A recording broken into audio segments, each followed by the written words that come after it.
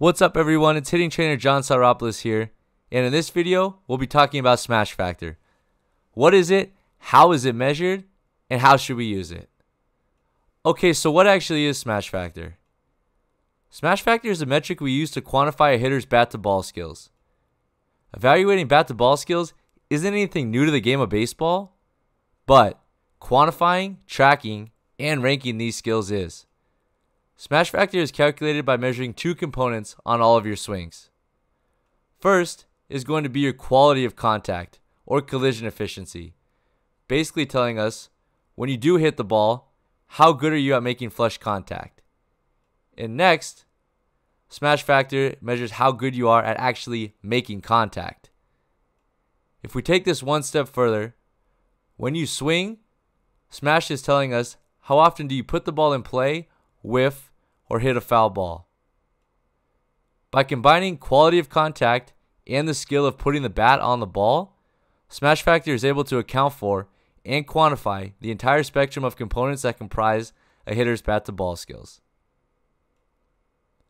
When measuring quality of contact, what we are actually measuring is your collision efficiency, or how well did you transfer bat speed into exit velocity.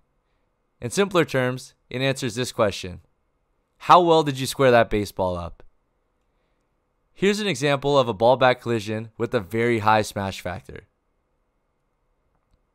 And here's another example of flush contact.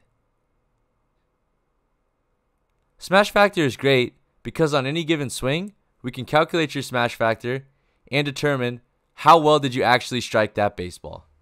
Okay, time for a little bit of background info.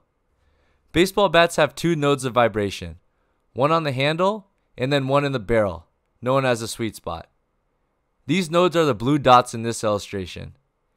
And in this picture, it has a little bit more detail. You can see that both nodes are labeled in red.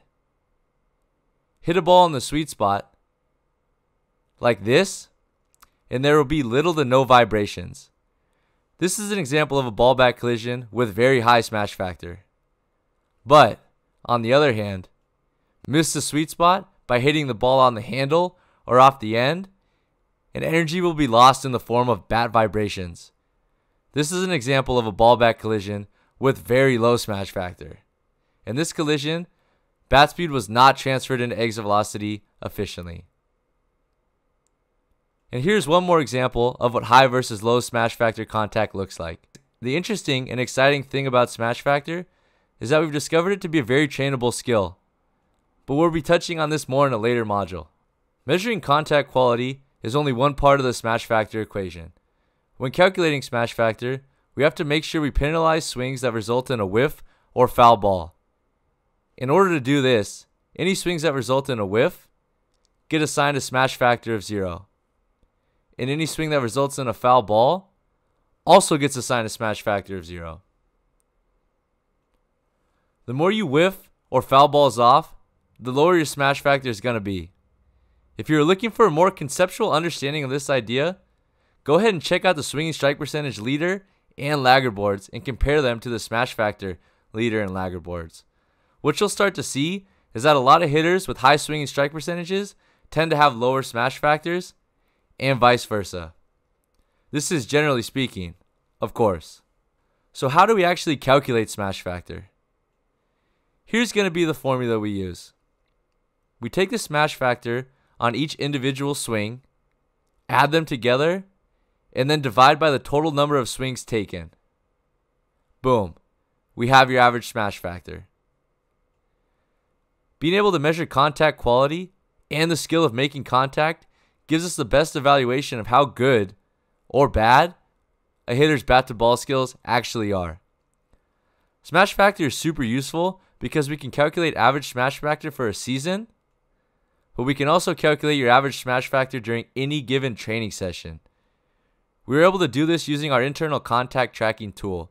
Essentially, knowing your smash factor during a training session tells us how well you are actually squaring the ball up during that session. This is extremely valuable for analysis and training prescriptions.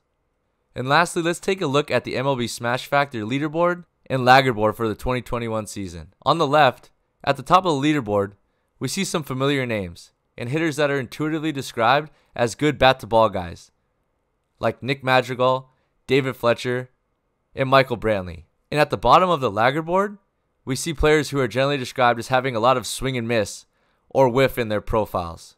While the leaders and laggards don't tell the whole story, seeing which players have good smash factor and which players don't definitely helps us understand this concept a little bit better. So there you have it, smash factor.